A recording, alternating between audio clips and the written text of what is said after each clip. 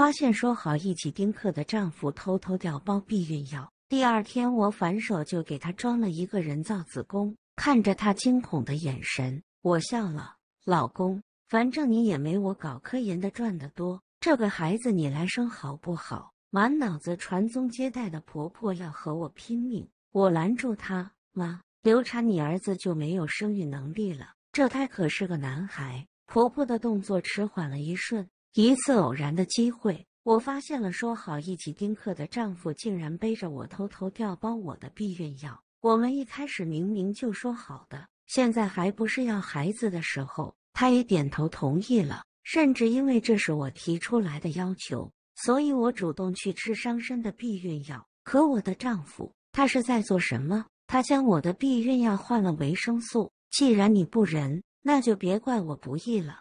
看着丈夫喝下我递给他的牛奶。我心满意足的笑了。月黑风高夜，正是干好事的时候。第二天早上，李明刚醒就对着我嘟囔抱怨，说我昨晚给他喝的牛奶有问题，他肚子不舒服了一晚上。我涂着面霜，扫了镜子里的李明一眼，他正紧紧盯着自己的肚子看，这揉一揉，那搓一搓，然后突然尖叫起来：“老婆，你快看一下，我肚子它是不是变大了？”我面无表情的对他翻了个白眼，哪有那么快？我昨晚才给你装上，你给我装什么了？他音色不稳，惊恐的叫起来：“忘了告诉你了，昨晚给你安装了一个人造子宫，怎么样？我是不是很厉害？”他听闻，愤怒的捏着我的手腕，眼睛里的火好像要烧死我，朝我怒吼：“厉害个屁！你安装的时候问过老子意见吗？老子同意了吗？”我反手就是一巴掌甩了过去。你换避孕药的时候也没问过我意见啊！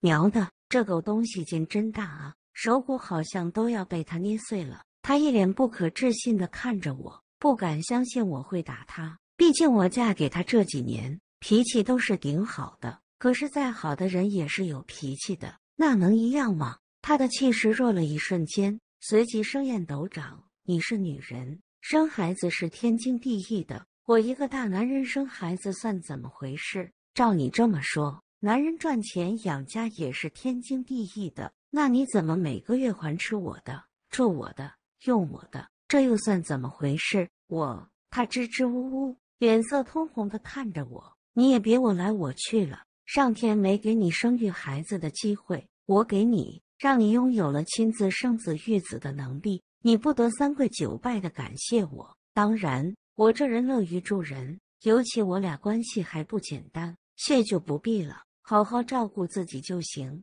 我最后看了一眼时间，八点半，刚刚好出发上班。对了，我亲爱的老公，好好保重身体，晚上回来告诉你一个惊喜。还没能坚持到晚上，下午三点左右，我就接到了我婆婆的电话。大声怒骂我，让我赶紧滚回家。我反手就是一个拉黑。什么人也想来打扰我的工作时间？知道我一分钟多宝贵吗？这个时候，我工作的好处就出来了。科研工作不论什么都是保密，他们就是想找都找不到我。我叫林青，九八五大学分子生物学博士，在校期间就已经参与某生物所的研究工作。博士读完后，直接参加工作。我的学业工作一直都是顺风换水，就连我的婚姻也一直是我以为的顺风顺水。我和李明是同届校友，他是文学院才华横溢的才子，我是生物院的实验室狂魔。或许是自己曾有一个诗与远方的梦，所以我和李明在一起了。室友曾无数次的说羡慕我学业事业有成，现在就连婚姻都是那么圆满幸福。当时的我也是这样想的。就在我们顺理成章的结婚后，我才发现一切只是表面上看的那么幸福美满。李明很会隐藏，或者说他们一家人都很会演戏。我去过他家好几次，每次给我的感觉都是李明是一个绝世好男人，是一个值得托付终生的人。他父亲在他八岁的时候就去世了，他和他妹妹都是由他母亲一个人带大的。兄妹俩都很内向，不善于交谈。但是都很勤快孝顺。我每次去的时候，李明总是抢着做事，几个人的饭菜都是由他一人包揽。我和他母亲还有他妹妹就坐在沙发上聊天。他母亲会亲切的叫我青青。他妹妹虽然不爱说话，但是很老实，给人的感觉也是温柔内敛的。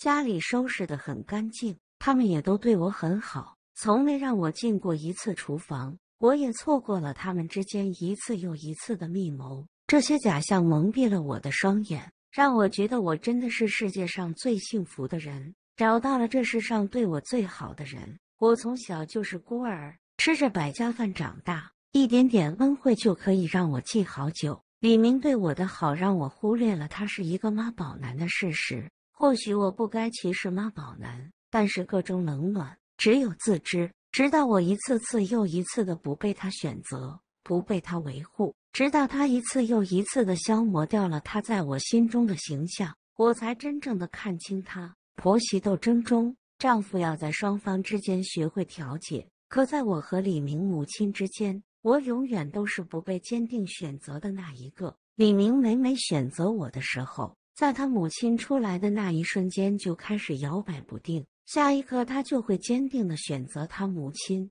在我与他母亲的这张斗争中，我从未占过上风。他母亲的一句不喜欢不好，就连带着否定了我所做的一切。他也从不为我辩论半句，我的辩论一次又一次的被他无所谓、不耐烦的语气打破。婚后，我以为会在我耳边经常围绕的是他的爱意，现实却是一盆冷水，将我泼了个透心凉。他年纪大了，小时候为了照顾我吃了很多苦，你就不能让着他吗？他是我妈，吃过的盐比你走过的路都多。他说你错了，你就错了，这还需要去跟他争论吗？你就不能为了我多让着让着他吗？他还能活几年？你还能活几年？能不能动动你那高贵的脑子想一想？此类话语比比皆是，不能想了。再想我都想抽当时的自己了。这么低级的 PV 话语，竟然还让我这个社会主义接班人中招了。也不知道当时的自己怎么了，对他的恶劣态度只会一昧的忍让。果然还是当时给他加的滤镜太厚了。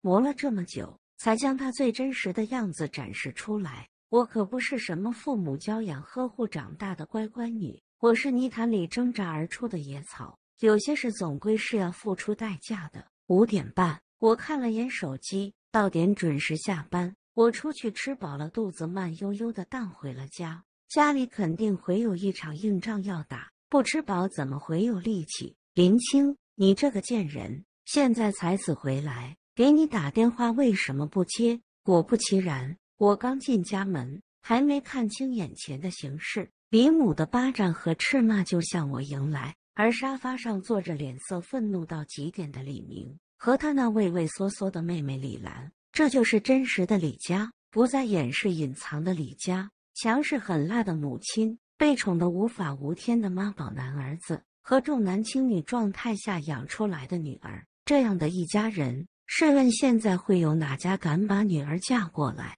也就是我当初猪油蒙了心，一门心思的要往李家跑，现在后悔的也只有我自己。我用舌头顶了顶腮帮子，感叹着他们一家人怎么手劲都这么大。我一巴掌打过去没有这么痛怎么办？那就两巴掌，这种事不回本。我做梦半夜醒来都要抽我自己。我直接一巴掌朝李母打了过去。他显然没反应过来，又或者说这屋子里的几个人都没有反应过来。毕竟以前的我可是最缺爱的，这辈子就想有一个属于我自己的家。只要谁对我好一点，我就一门心思的对他们好。动手是不可能的，对他们动手那简直是天方夜谭。在李母被打懵的时候，我直接又一巴掌甩了过去，随即甩了甩两只手，满意的欣赏着自己的杰作。哎呀，不好意思，两边手劲不一样大，没给您打对称，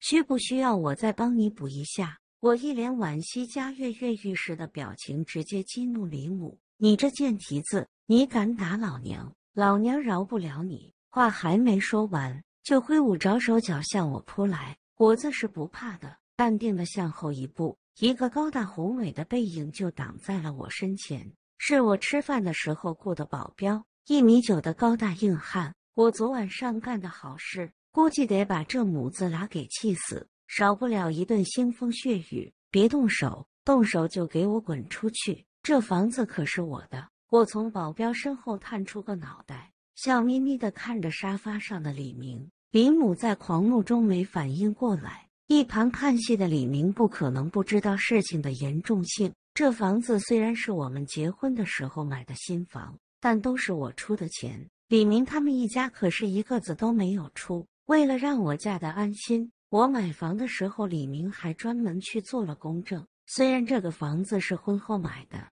但是还是我个人的财产。他当时的这个行为可把我感动死了。现在想来。当初的自己可真傻啊！这是我自己的钱买的房子，关他什么事啊？一个所谓的公证就把我感动的要死，还让他去装了好人，担了个美名。有什么办法能让暴躁狂怒的人立马冷静下来？很简单，涉及自己的利益的时候，这方法简直就是灵丹妙药，一用一个准。李明立马拉着李母，给他平复着心中的怒火。妈。你不总说这世上没人能比你儿子金贵，那你儿子生出来的孩子不是更加金贵吗？胡言乱语！他一个大男人生什么孩子？妈，生下这么宝贵儿子的您都可以生孩子，他有什么不可以啊？就算他不行，还有我啊！您跟我说，保管给您弄得妥妥的。我吧，最近刚好在研究这个人造子宫，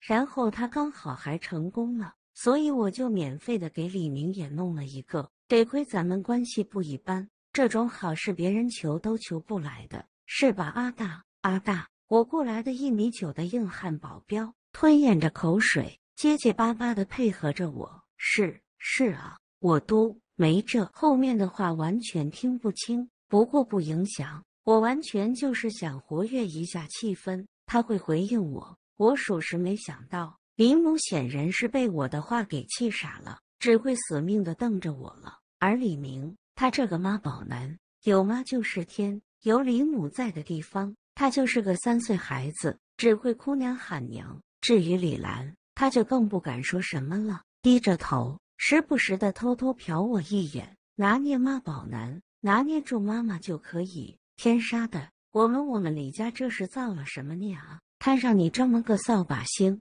我怎么有脸去见孩子他爸啊？李家的香火怎么办啊？李母在这哭爹喊娘的，李明也在那揉着肚子哼哼唧唧的。我就在一旁静静的看着这出戏。等时间差不多了，我才慢悠悠的出声：“妈，您多虑了，我怎么会让李家的香火断在我这了？这我就更没脸下去见爸了。这子宫都有了，下一步不就是孩子了吗？你这天杀的啊！”你把我儿子折腾成这个样子，你还有脸说？李母一路骂骂咧咧的，扯着我的手就要我给李明把那个子宫给弄出来。你们早说啊！这时间都过了，而且孩子都有了，打了您乖孙都没了。什么？忘了跟您说了，我昨晚顺带还给李明肚子里放入了一个小生命。算算时间，现在应该已经成型了。小妹不是学医的吗？刚好可以看看成没成功。李母和李明爱面子，男人身上有子宫，